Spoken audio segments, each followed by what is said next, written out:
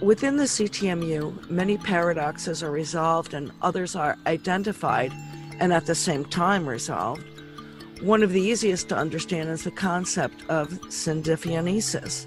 While some have balked at the neologism, the concept is really quite straightforward, almost too obvious.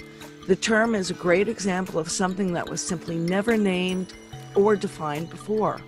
It is, in fact, quite useful.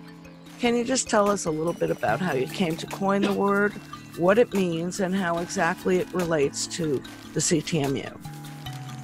Okay, well, syndiffeonesis uh, obviously has a, the prefix syn or syn, and diffeonesis. And what it means is sameness in difference or difference in sameness, no matter how you want to say it. Basically, it's a coincidence of sameness and difference.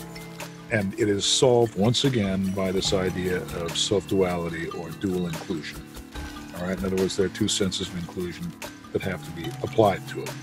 Uh, what it describes is basically one object that has multiple aspects or multiple properties, or one property that describes multiple objects, both of which exist in profusion. There's no getting out of it. So syndiffeonesis is everywhere. You can't get out of it. And of course, some people think, well, that's a trivial idea. No, it is not a trivial idea. Basically, what you have is you've got two things that you're looking at. And the only reason that they cohere that you can see them both at once is because you are using a cognitive syntax that allows you to recognize them.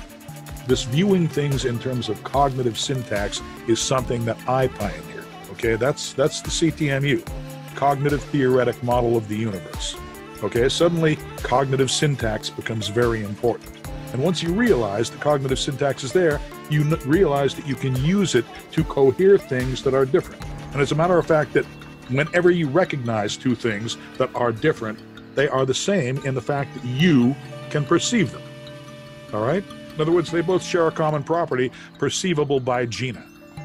Great. You understand? Yep. Okay, so they're not totally different, are they?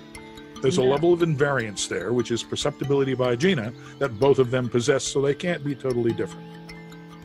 Exactly. So it seems like virtually every relationship is That's exactly right, which is why it is called the universal relational structure of reality.